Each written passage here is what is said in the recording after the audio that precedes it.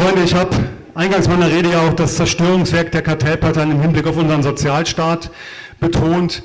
Und das ist mir zum Abschluss nochmal wichtig zu erwähnen. Und das muss uns immer bewusst sein. Es gibt kein internationales Recht, das das Recht eines souveränen Volkes brechen könnte, selbst zu entscheiden, wie es den von ihm erarbeiteten Wohlstand verteilt und an wen es ihn verteilt. Dieses internationale Recht gibt es nicht. Die Kartellparteien zerstören mit ihrer Politik der offenen Grenzen unseren Sozialstaat. Das ist Fakt. Aber das, was mich vielleicht am meisten erschreckt, ist die mangelnde Empathie den eigenen Landsleuten gegenüber. Ich kann das nicht.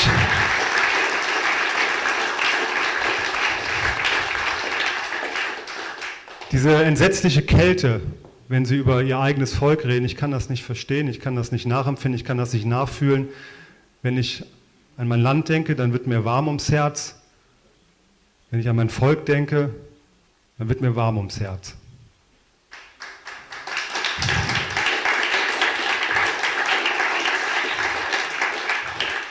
manchmal sagt ein Leserbrief mehr als tausend Worte. Ich will einen kurzen Leserbrief zitieren. Ich habe ihn auch auf meiner Facebook-Seite vor zwei Wochen mal veröffentlicht, aber Mehr kann man zu dieser asozialen Politik der Kartellparteien dem eigenen Volk gegenüber, glaube ich, gar nicht sagen, um als einfach mal ein konkretes Beispiel aus dem Leben anzuführen. Eine ehemalige Krankenschwester, Name, ihr Name ist Evelyn Fontius, schreibt, ich zitiere, ich habe 38 Jahre als examinierte Krankenschwester in Pflegeberufen, in Pflegeberufen gearbeitet und bin davon krank geworden. Ich beziehe nun schon seit einigen Jahren eine volle Erwerbsminderungsrente von knapp 1000 Euro.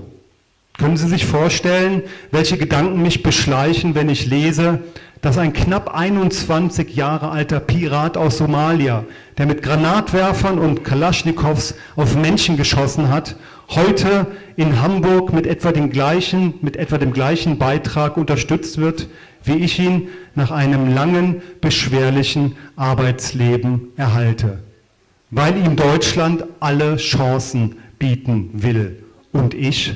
Fragezeichen, Zitat, Ende. Ich glaube, liebe Freunde, die Diskriminierung des eigenen Volkes durch die regierenden Parteien und deren Politiker ist ein welthistorisch einzigartiger Befund.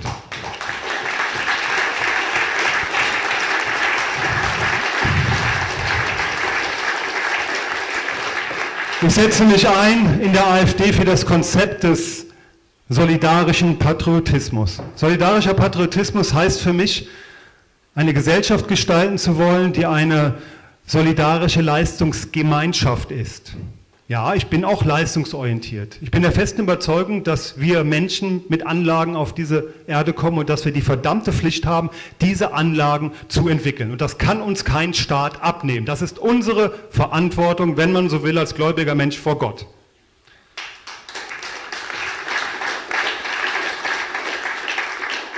Aber ich bin auch der festen Überzeugung, dass ein Volk eine Solidargemeinschaft ist.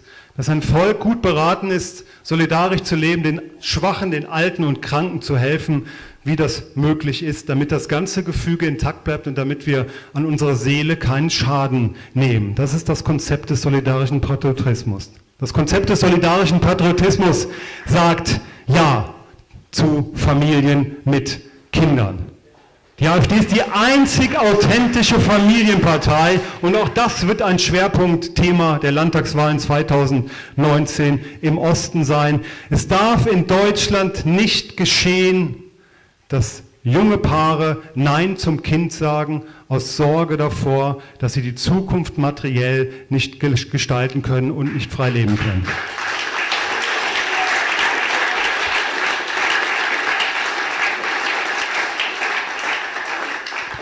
Ja zum Kind, das entscheidet, ob wir Deutschen es nochmal kollektiv schaffen, Ja zum Kind zu sagen, entscheidet über unsere Zukunft. Denn leere Räume gibt es auf diesem Planeten Erde nicht. Das ist einfach so. Das ist die entscheidende Zukunftsherausforderung, den demografischen, die demografische Wende zu schaffen. Wie gesagt, am Geld darf das Kinderkriegen in Deutschland nicht scheitern. Wir wollen mehr Kinder in Deutschland und selbstverständlich deutsche Kinder.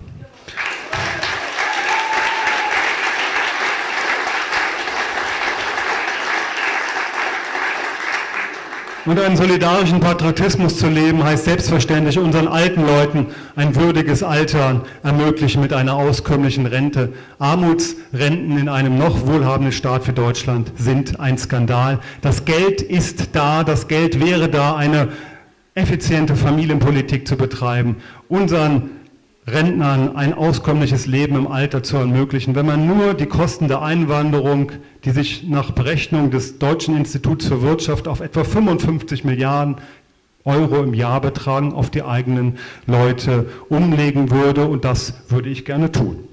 Liebe Freunde, das haben wir jetzt wirklich abschließend nochmal kurz erwähnt, gestattet sein zu erwähnen. Diese Einwanderungskrise, die wir 2015 hatten, das war kein einmaliges Ereignis, sondern diese Einwanderungskrisen werden in immer kürzeren Abständen, in immer größerer Intensität auf Europa zurollen. Das, was wir 2015 erlebt haben, war vielleicht nur ein Rinnsal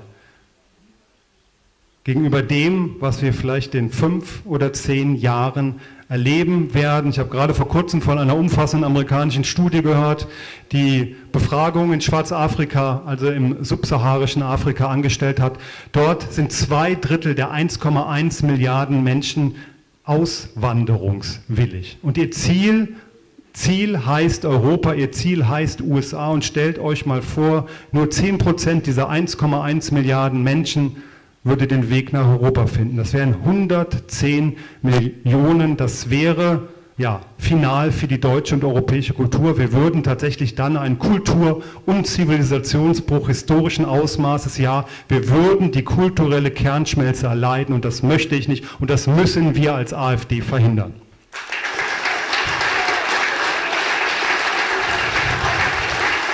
Liebe Freunde,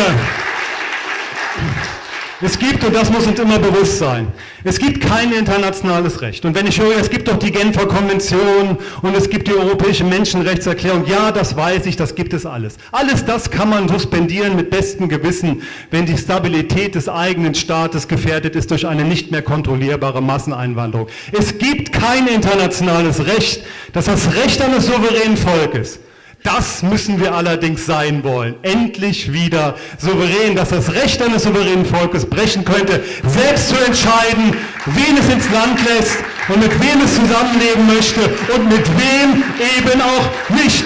Und es gibt, liebe Freunde, kein Recht und es gibt keine moralische Verpflichtung zur Selbstaufgabe. Diese moralische Verpflichtung gibt es nicht. Aber es gibt etwas anderes. Es gibt unsere moralische Pflicht, dieses Land, seinen noch Wohlstand, seine noch Wohlordnung an unsere Kinder weiterzugeben. Das ist unsere moralische Pflicht. Dafür kämpfen wir und dafür bitte ich euch um beide Stimmen für die AfD am 14. Oktober 2018 hier in Bayern. Lasst einen Ruck durch Bayern gehen, lasst einen Ruck durch Deutschland gehen, holen wir uns unser Land zurück. Ich danke euch.